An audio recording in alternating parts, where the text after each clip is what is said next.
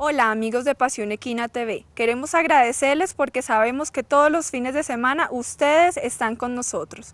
Vamos con las notas que tenemos preparadas para el día de hoy.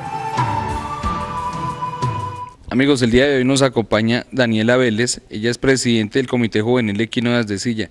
Daniela, bienvenida al programa. Bueno, eh, muchas gracias a Pasión Equina TV por tenernos en cuenta en su programa y por estar presentes acá con nosotros. Daniela, por favor expliquémosle a los televidentes qué es el Comité Juvenil Equino. Bueno, el Comité Juvenil Equino de Adesilla somos un grupo de jóvenes que nos gustan los caballos, que tenemos algún tipo de relación con los caballos o que simplemente hay como por tradición o algún tipo, pues alguna razón, eh, amor pues como por el caballo criollo colombiano y quisimos unirnos y, y formar pues este grupo, este comité para trabajar en pro del caballo criollo colombiano, hacer fomento equino, hacer cosas por, para que no se pierdan ciertas tradiciones y aprender pues como para los que estudian carreras afines pues porque les sirve y, es como de gran ayuda y los demás pues por gusto y por pasión. ¿Hace cuántos años existe este comité y cuáles son las principales funciones que ustedes realizan? Bueno, ahora finalizando septiembre el comité cumple dos años pues de estar ya como organizado y nosotros estamos siempre como al lado de cualquier tipo de evento que Asdecilla organiza y nosotros hemos tratado de tenernos como independientes. Nosotros en las ferias estamos presentes en diferentes pues, labores, por llamarlo de alguna manera, como es la prepista, eh, alojamiento y a veces ayudamos pues, en inscripciones como para aprender todo el manejo de las ferias en las conferencias que desde ya hace una vez al mes ayudamos como a, conseguir la persona que dicte la conferencia y en el montaje de la conferencia. Hemos organizado cursos. La idea es organizar pues y crear nosotros un festival equino en algún pueblo del suroeste y, dentro de poquitos días vamos a hacer un, como una brigada de primeros auxilios equinos en, en un pueblo porque queremos como, además de, lo que estamos aprendiendo nosotros, poder ayudar pues como y, llevar y como fomentar todo lo que queremos. Daniel, actualmente, ¿cuántas personas son miembros del Comité Juvenil Equino en Silla? Y de pronto los jóvenes que nos están viendo en este momento, ¿cómo pueden, cómo pueden hacerse parte de este comité? Bueno, nosotros actualmente somos un grupo de más o menos 30 jóvenes y ingresar al comité es muy fácil. Pues eh, debe estar en un rango de edad entre 14 y 25 años. Ser pues como de la zona porque nosotros nos reunimos frecuentemente pues y hacemos cosas constantes, entonces tiene que ser como que pueda estar cerca a nosotros.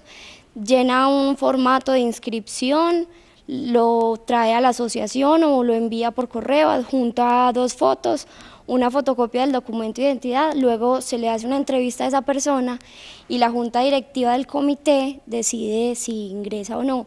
¿Qué tenemos en cuenta en el momento de esa reunión o qué, pues, o qué miramos? Es si realmente hay como ese compromiso y si hay como una motivación y uno sabe que, que son personas que se van a entregar al comité y que van a aportar y que son proactivas para el gremio. ¿Qué beneficios tiene para un joven hacer parte del comité?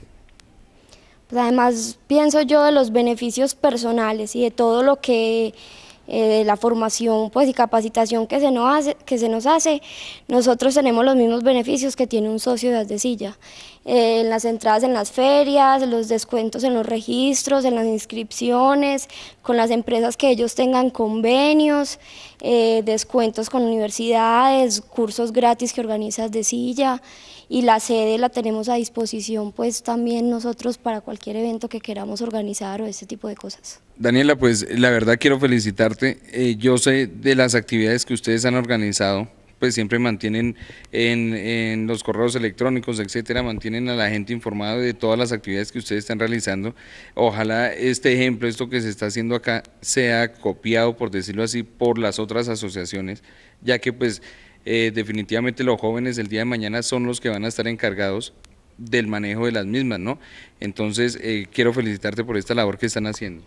Muchas gracias José Luis y muchas gracias a Pasión Equina TV, pero sobre todo yo agradezco a Decilla por habernos dado la oportunidad pues, de formar este grupo, de apoyarnos porque es un respaldo de una gran asociación. Y como lo dijiste, es un ejemplo que ojalá todas las asociaciones o por lo menos pues por, las, por zona hayan como este tipo de grupos y de jóvenes que en última somos los que, pues que si realmente esto nos gusta, somos los que queremos que esto dure y que, que no sea algo que se acabe cuando ya las personas de edad o las personas que actualmente están como a, a cargo de todo esto no estén. ¿Sabías que la laminitis es la inflamación de las láminas interiores del casco y suele producirse por exceso de carbohidratos en la dieta? Amigos, el día de hoy estamos en el departamento de Antioquia. Nos encontramos en el criadero Lusitania y nos acompaña el señor Dairo Chica. Don Dairo, bienvenido al programa. Muchas gracias por esta oportunidad, muy amables por la invitación. Bueno, don Dairo, una persona conocida en todo el país, conocida en el exterior, criador de caballos de toda la vida. Cuéntenos un poquito, por favor, cómo ha sido la historia suya en este mundo de los caballos. Bueno, la historia mía en los caballos es un poco larga, ¿no? No solamente pues por la edad, sino por lo que yo he trabajado en ellos bastante. Empecé muy temprano, a muy temprana edad, eh, en el mundo del caballo y trabajé con ellos durante toda la vida.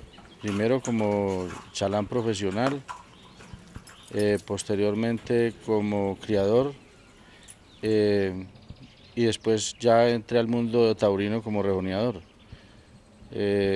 Trabajado mucho con los caballos de paso fino, monté caballos trochadores, trotones galoperos criollos, y eh, después cuando ya eh, incursioné por el mundo del rejoneo, practico la alta escuela y la doma para los caballos de torear, enseñar los caballos a torear. Don Dairo, de aquí del criadero Lusitania han salido ejemplares que son más que reconocidos, ejemplares que han sido muy importantes para la caballada nacional. Por favor, eh, recuérdele a los televidentes cuáles son los ejemplares, los principales ejemplares que han salido de este criadero. Bueno, yo inicié como criador de caballos en el año de 1979, em, como criador de paso fino. Entre los animales importantes que han salido del criadero como caballos reproductores, los primeros que crié fueron Nevado, Retorno y Castellano, que se los vendía don Fabio Ochoa eh, estando potricos sin arrendar de entre un año y año y medio. Las yeguas sí no, las potrancas que eran compañeras de los potros no las vendí porque yo quería hacer un, el criadero pro, agrandarlo, ¿no? En ese momento era solamente seis yeguas que tenía y esas crías que eran hijas de resorte cuarto, las, las seis crías, entonces yo vendí los machos y conservé las potrancas porque quería incrementar el número de vientres. Y es lo que he hecho durante todo el tiempo hasta el día de hoy. Em, estos tres caballos que fueron muy importantes para la raza, como fue Nevado, que fue el padre del caballo profeta en Estados Unidos, el caballo castellano, que fue el padre del zodiaco, que también lo crié yo, eh, Retorno, que es el padre de la famosa yegua maraquita. Em, los tres caballos eh, fueron a los Estados Unidos. El caballo eh, castellano, cuando volvió con el caballo capuchino ya mm, al mucho tiempo, no sé si fueron a los siete años o algo así, yo le cogí el caballo, eh, eh, el caballo zodíaco. Y el zodíaco a su vez me dio pues caballos tan importantes como el caballo dulce sueño, el caballo romance, la yegua Rima, que fue dos veces campeona mundial. Y yo siempre he sido muy fiel a, estas líneas, ¿no es cierto?, de, mi criadero, de mi propio criadero. También el caballo usé en, algunas hijas de esos, también ya después el caballo, eh, el, extraordinario caballo capitán, que me dio también eh, una descendencia muy importante pues de capitán viene el caballo coñac, que también es de la cría, y el caballo coñac me dio el caballo verso con la rima, de su madre. El verso pues dio la famosa yegua esfinge y el famoso caballo arriero. aquí en el criadero lo que sí eh, se han quedado la mayoría de las mm, yeguas de vientre y tengo un número importante, gracias a Dios, de, yeguas que pues, pienso que me aseguran el poder eh, criar animales buenos en, el tiempo que me queda de vida. Bueno, don Dairo, esto, esto es una empresa familiar, ¿no? Su hija eh, ha ganado también una cantidad de títulos como Amazona, ha competido, yo me acuerdo haberla visto en la Esfinge compitiendo, ganándole pues a, al que se le arrimara, por decirlo así, le ganaba, ¿no? ¿Cómo ha sido esto, esto de llevar este criadero con la familia? Bueno, para mí ha sido muy satisfactorio verdaderamente que he encontrado el apoyo de la familia, de no solamente de la esposa e hija, sino también de mis hermanos y mis hermanas que también son aficionados. Esto es una cosa que nos viene por sangre, digamos, porque nosotros somos eh, de familia campesina y los campesinos de Colombia somos aficionados todos de por sí a los caballos. Eso es una cosa que nos, reconocen mundialmente. Bueno, Dairo, conociendo la importancia de los animales que usted ha creado acá en, el criadero Lusitania, eh, díganos por favor el día de hoy qué ejemplares vamos a ver. Bueno, los animales que vamos a observar hoy es una muestra de el criadero de los animales que van a salir a la feria. Em, la primera que vamos a ver es la potranca de nombre Panacea. Esta potranca es hija del caballo verso, el hijo de Coñac en la rima. Es una potranca de 38 meses. Es una potranca que tiene eh, la virtud de tener un gran tren posterior. Es supremamente fina, es una yegua de gran alzada, pues hay muchas esperanzas con ella. Esperemos que haga un buen papel en la pista. Eh, no sabemos qué puesto pueda ocupar, porque como me dice el amigo, una palabra que le aprendí yo a Pacho eh, Londoño de Manizales, que dijo, que uno, por muy buenos que tengan los animales, siempre tiene que pensar que en las demás casas también rezan. O sea que, de manera que como es competencia, pues siempre no podemos menospreciar que los demás criadores también están sacando muy bueno, que también trabajan por ello con dedicación y seguramente irán a salir muy, buenos ejemplares en esta, en esta Feria de las Flores. Eh, la segunda potranca que vamos a ver es la potranca de nombre Celeste, es una potranca de 48 meses, también hija del caballo verso, en una hermana de la esfinge por madre, en la yegua Celestina, que es hija de la Triana y del Zodíaco. Es una potranca de gran velocidad, pulimento, muy briosa, eh, esperamos que haga también buen papel. La otra potranca que vamos a sacar es la potranca María Gracia, hija del verso, en una hija del caballo romance de nombre María Candela. María Candela a su vez es hija de María Bonita, hija de Borinqueñita, que es abuela también de la Esfinge, y eh, María Bonita hija de Coñac, María Candela hija de Romance.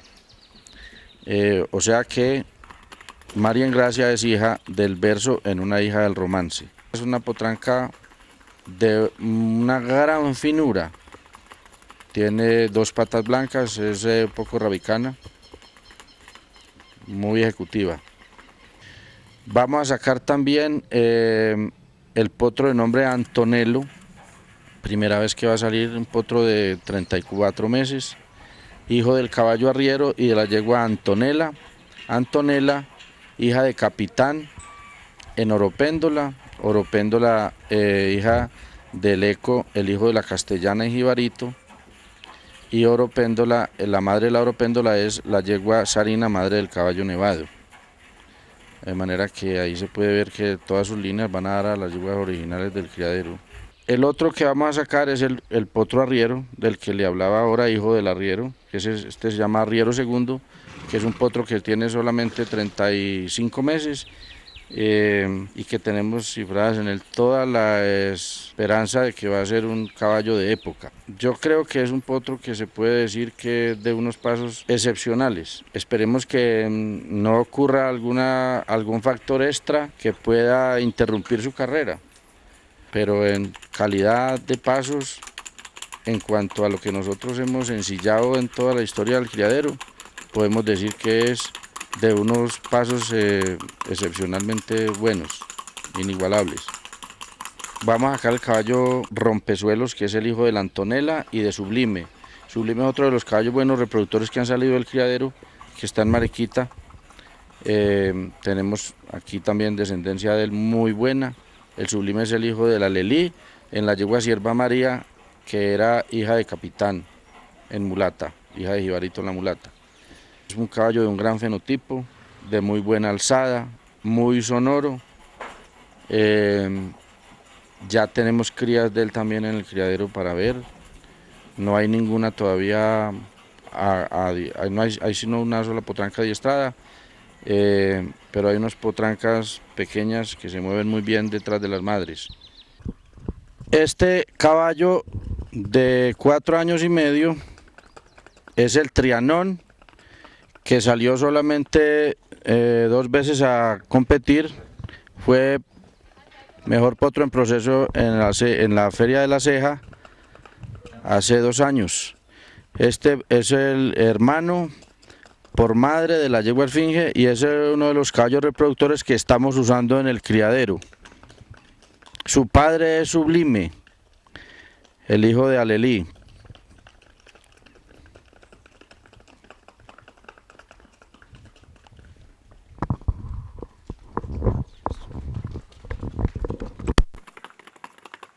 Don Dairo, muchas gracias por habernos recibido acá en el criadero y esperamos pues que siga una carrera llena de éxitos acá con los, con los caballos acá a nivel nacional y a nivel internacional, ¿no?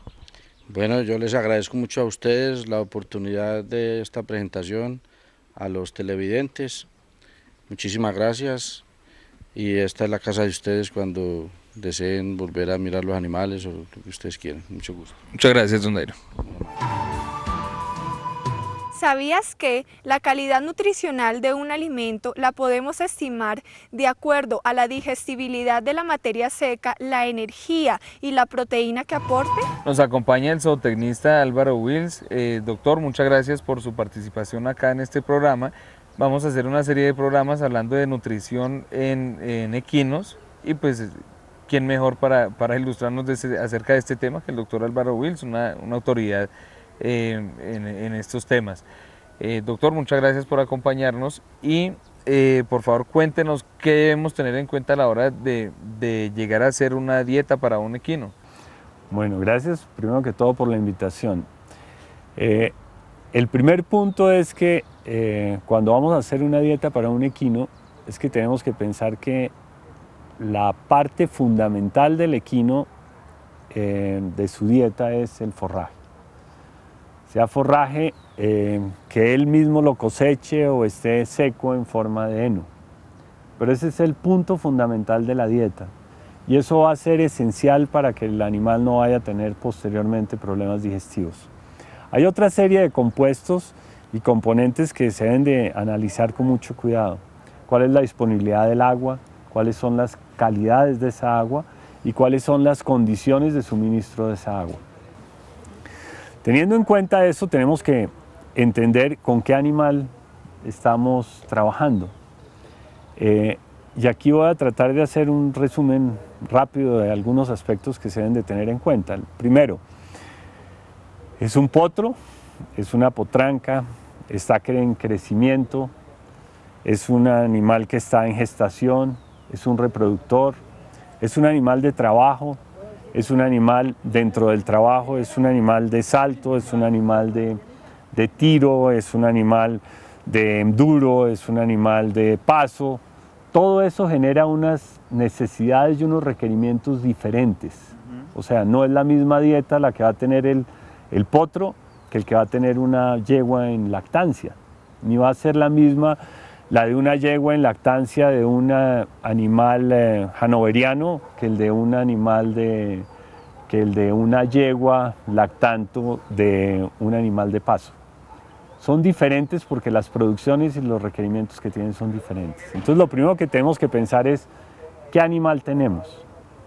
Segundo, qué nos está suministrando el principal la, principal fuente de nutrientes que vamos a utilizar, que es el forraje o el heno que vamos a... El pasto que tenga, que tenga cada quien dentro de su pesebre. Exactamente, eso es fundamental. ¿Y cómo lo vamos a usar?